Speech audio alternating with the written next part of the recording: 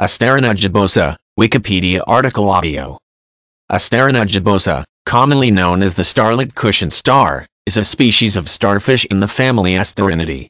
It is native to the northeastern Atlantic Ocean and the Mediterranean Sea. Asterina gibbosa is a pentagonal starfish with short blunt arms and an inflated appearance. The aboral surface is clothed in groups of short, blunt spines. This starfish grows to a diameter of about 5 centimeters and may be brown, green or orange. It is sometimes blotched with color and individuals from deeper sea locations tend to be paler in color.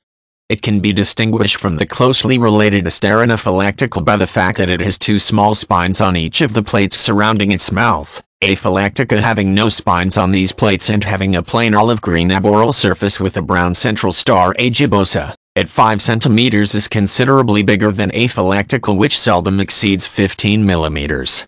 At one time the two were believed to be the same species but it was realized in 1979 that besides the differences in appearance, the two occupied different ecological niches and had different reproductive strategies. Asterina gibbosa is mainly nocturnal, spending the day underneath boulders, overhangs or in caves, or hidden away under algae and rock pools.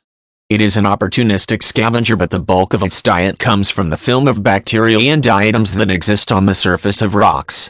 It feeds by everting its stomach against the surface of the rock and secreting enzymes which digest the film. Other foods found in its stomach included decaying toothed wrack, periwinkle feces and bits of dead mollusks such as mussels, oysters and periwinkles, but 95% of the stomachs contained no large particles indicating the importance in its diet of microscopic organisms. Asterina gibbosa is a protandric hermaphrodite. This means that it is born a male and later changes sex and becomes a female.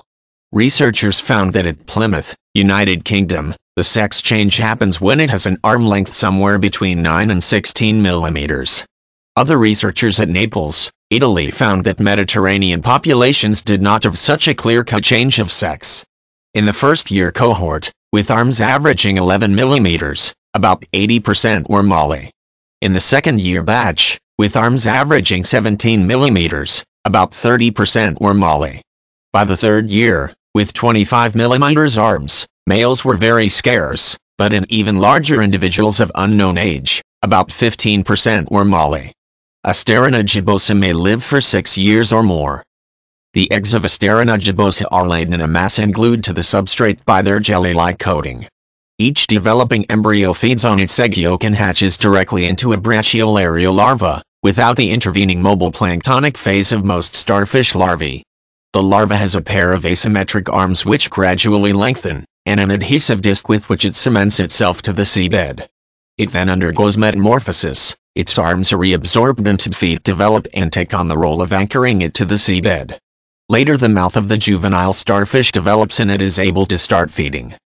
Asterina gibbosa is found in the northeastern Atlantic Ocean and the Mediterranean Sea.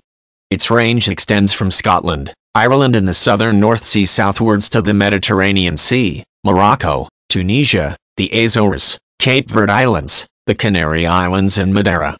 It is found from the lower shore down to a depth of about 125 meters in pools, on rocks, under boulders and overhangs.